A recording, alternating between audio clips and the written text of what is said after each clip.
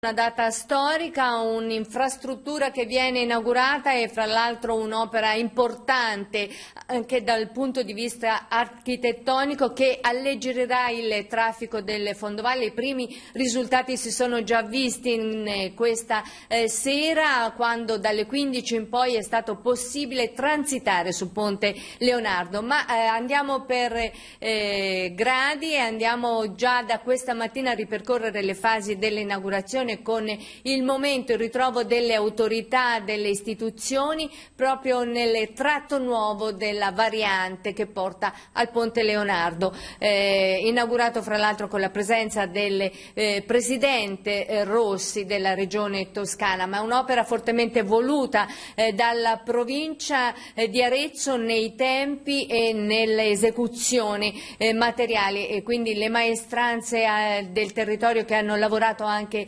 in modo celere per arrivare a questo 21 ottobre. Allora il plauso e la soddisfazione del Presidente eh, Roberto Vasai della provincia di Arezzo in questo nostro primo servizio, poi tutti gli altri, il Presidente Rossi e i sindaci del territorio.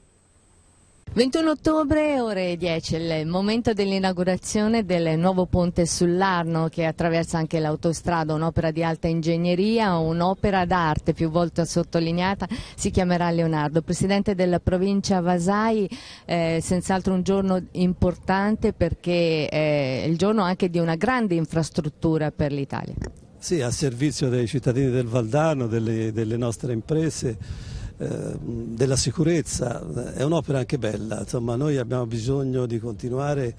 quella grande opera che è iniziata fin dai primi secoli, insomma. le opere pubbliche devono essere belle eh, per poter essere anche tramandate nei secoli per chi verrà dopo di noi. Se i nostri avi nel 500, nel 400, nel 600 non avessero pensato ad opere pubbliche belle non avremmo questo patrimonio straordinario di arte e di cultura che ci fa grandi nel mondo. Insomma, ehm, fare le opere anche di, come questo ponte io credo è un servizio al nostro territorio, insomma, ben inserito nel Valdarno, sarà sicuramente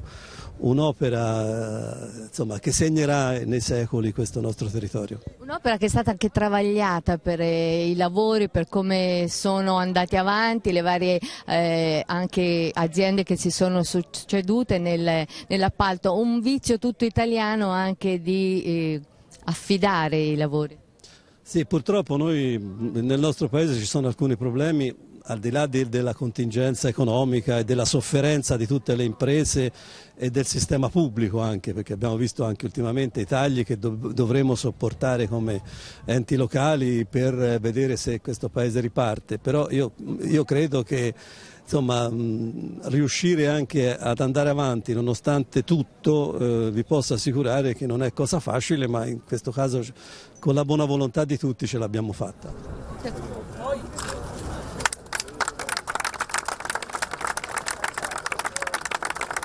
Il Presidente della Camera di Commercio Andrea Sereni. Questo è un ponte che è assolutamente fondamentale per il territorio del Valdarno, mette in comunicazione due zone, due territori che sono, erano letteralmente tagliati dall'autostrada, tra l'altro ci sono delle aziende importantissime, la Camera di Commercio di Arezzo ha contribuito economicamente alla progettazione del ponte, è un tassello importante oltre per lo sviluppo del, del, del nostro territorio del Valdarno in maniera particolare.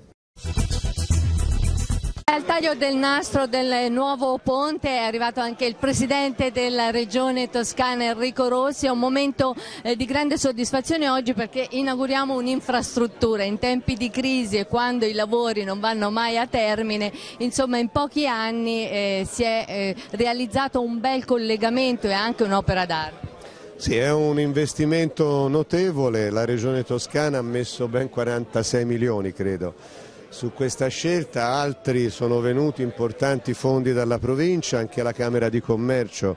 ha dato un contributo per la progettazione.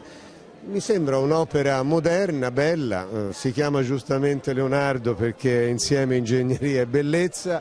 si chiama Leonardo anche perché poco dietro qui c'è a monte sull'Arno il famoso ponte Burano o a Burano costruito nella metà del 1200 dalla borghesia aretina in ascesa e noi vorremmo una regione in ascesa, ecco. vorremmo che questo fosse un po' il simbolo anche della ripresa nella nostra regione, una regione che riesce a conciliare bene l'attrazione di investimenti, la manifattura, l'industria, la modernità